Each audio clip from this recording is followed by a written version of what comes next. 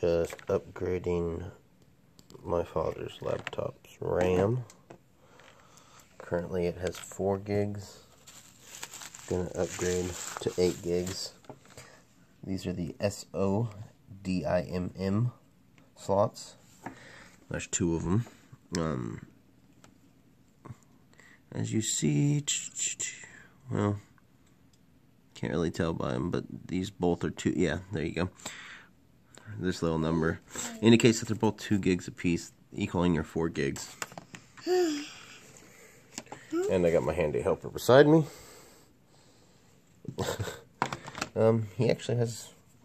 This is his main hard drive. He can actually have an external hard drive. Really easy to put in. Not bad. Better than my computer. My computer is actually a little more difficult to get into. It's newer. But anyway, place it. You just push it over, not up, just over, and they pop up just like that.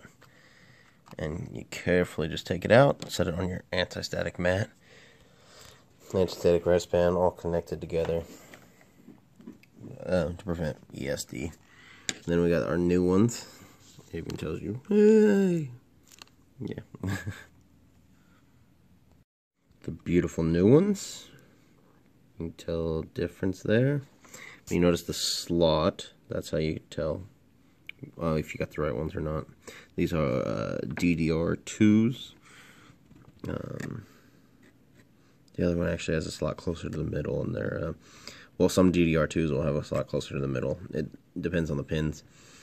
Uh, those will be the little older ones, but the and the DDR1 also will have that closer pin. But this is how you can tell your DDR2s and 3s is that slot over there, and they're uh, a lot more pins. In there, you just literally press it down. You'll hear it click. Both levers will hold it in place.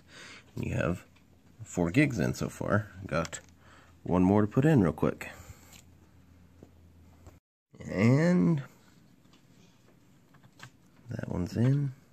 Push it forward, push down, hear it click. Bam.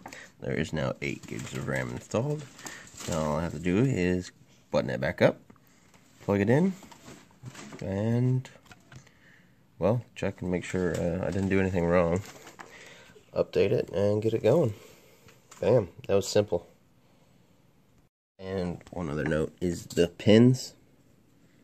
You do not want to touch them with your hand at all. Try and hold it to the sides of the back side of the boards. Those are the old ones, new ones, buttoned up.